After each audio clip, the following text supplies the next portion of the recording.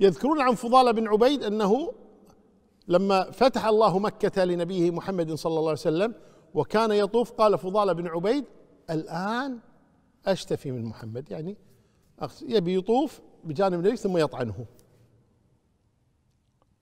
فاقترب من النبي صلى الله عليه وسلم وهو يطوف. فقال له النبي صلى الله عليه وسلم ما لك يا فضالة؟ قال لا شيء.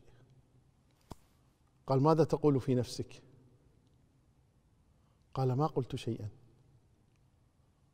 فقال النبي صلى الله عليه وسلم قام النبي صلى الله عليه وسلم بوضع يده على صدر فضالة وقال اللهم اهده وأذهب عنه كيد الشيطان.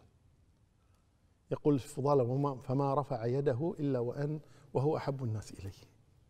صرفه الله غير رأيه.